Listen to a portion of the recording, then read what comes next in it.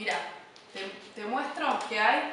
Tenés cereales, tenés un sándwich, podés comer unas papas fritas o un postre, ¿ves?